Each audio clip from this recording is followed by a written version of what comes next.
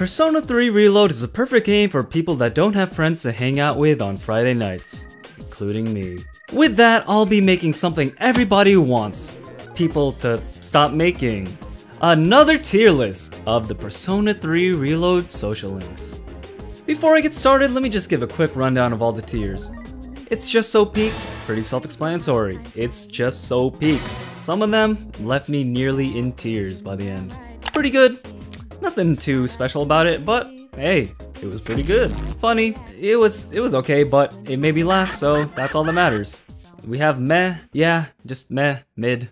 Nothing really special about it. Kinda not boring, but not that entertaining. Funny bad?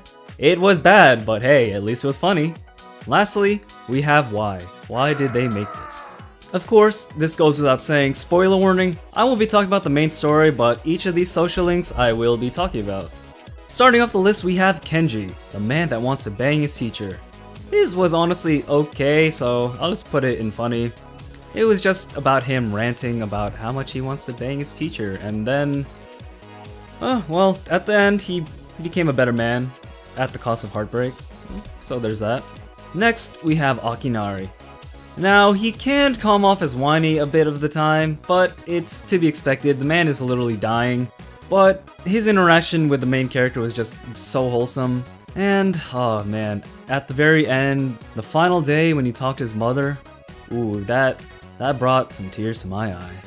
Next, we have Odagiri.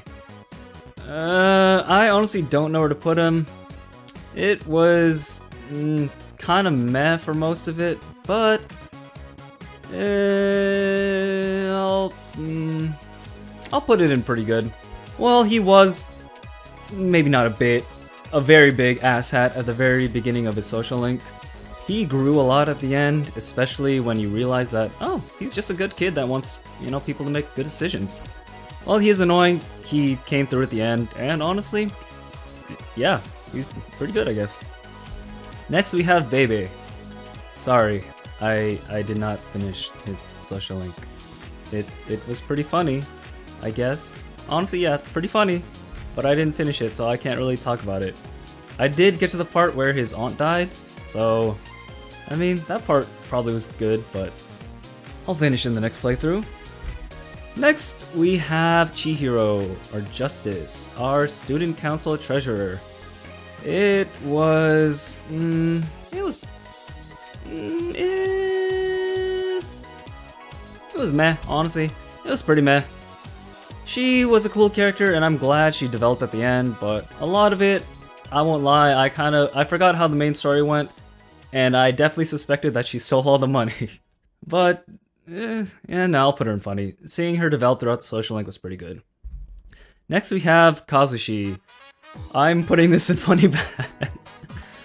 he is annoying, but he has a good heart. I also don't like that the social link makes you basically go, suck it up, put be a man, and just telling him to ruin his knee. But hey, he's doing it for a good cause, I guess. But yeah, just enabling him the entire social link kinda sucks, but hey, it was funny.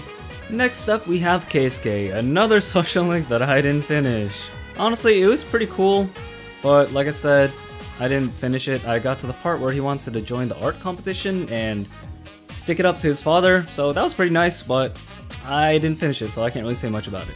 Then we have Maiko. Ooh, ooh, this one, honest, mm, pretty good. Mm, mm, mm, mm, mm. Honestly, it was pretty peak. I don't have divorced parents, thankfully, but every time she was on screen, oh man, it brought tears to my eye just seeing this little child go through the most horrendous shit. Honestly though, hmm, I think I put in pretty good, because a lot of it is the main character just enabling her to run away and yeah, if it weren't for the choices, it would be peak, but yeah, I'll put in pretty good. Next up we have the Hierophant. Honestly, Bunkichi and Mitsuko, or whatever their names, I'll put them in pretty good. Their story with their dead son was heartwarming, definitely brought a tear to my eye, and eh, they're just a sweet couple. Pretty good. Next we have Mutatsu. Oh uh, yeah, nothing, not that special, but it was funny yeah, seeing this old man go through his relationship troubles was pretty funny. And he, hey, at the very end, he made up with his wife and kid, so hey, that's pretty good. Oh, okay. next we have Nozomi, or Suemitsu, Fat Boy. Eh, why? Just why? I did not enjoy it at all. I mean, at the very end, the very like the very last rank, or maybe two, he grew, I guess, and yeah, he grew, but for the most of it, it was just man, we are really just letting this piece of shit scam people, and yeah, I'm just not getting into it. Yeah, no, it's just it's just why, why? They could have made it so much better. Talk about more of his dead brother, talk about his inferiority complex, but no, we just get to see him be be a dick. Next we have Tanaka. It's just funny, honestly. Not bad, not that great, but it was funny just see him with all his insults on, if you don't keep your end of the promise, I'm gonna ring your doorbell every night. Yeah, it's pretty funny. He kinda grew at the end, I guess. Find out, found out that he had a heart. But overall, yeah, nah, it was okay. It was funny. Next we have, ooh, Mamoru Hayase. Honestly, I put this man in peak. Him, like, you weren't enabling him, you were just helping him along. He was worried about his mother, he was trying to do everything for his family. He was just such a great character, so much more than the other track boy. Honestly, yeah, I, I loved his social link. I thought it was just gonna be like Kazushi Rehash 2.0, but he, man, his story was pretty good, pretty good, pretty good. But, uh, hmm. No, it was peak, it was peak. Next we have we have Maya. It was funny, not nothing too special. Seeing the 2000s lingo with the XD RAR type stuff definitely was cringe, but it was a blast from the past. And it was pretty funny.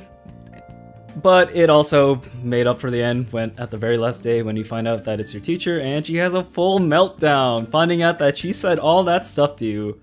Oh, that was great. Honestly, yeah, it was funny. Not that great, but funny. Next on the list we have Yuko. Yuko, honestly, pretty good.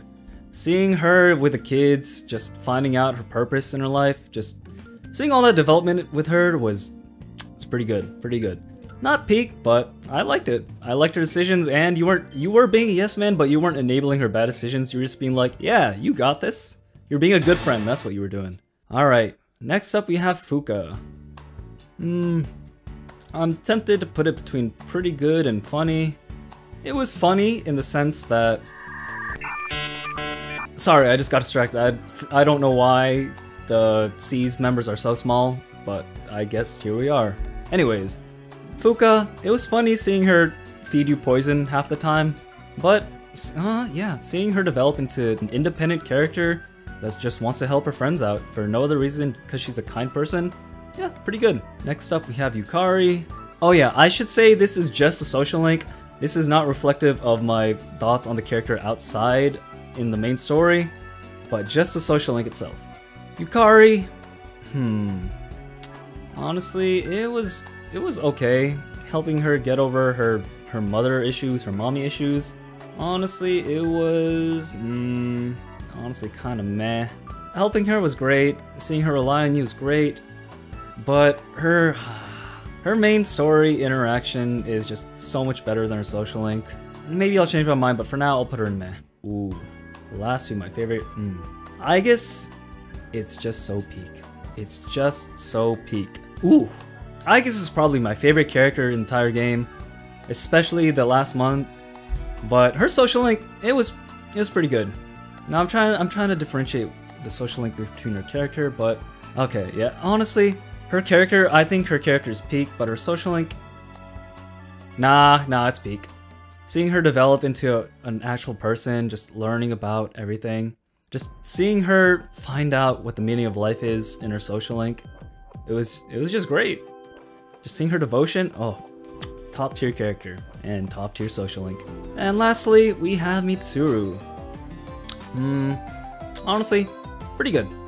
Seeing her become an independent woman, being able to help her with that, and I won't lie, she was the one I romanced in my playthrough. She was just strong-headed and finding out that she's just a normal person with normal wants and needs. She's not just a rich, stuck-up snob, but you find that out early in the story, but just knowing that she has her own struggles and she just wants to be a normal person.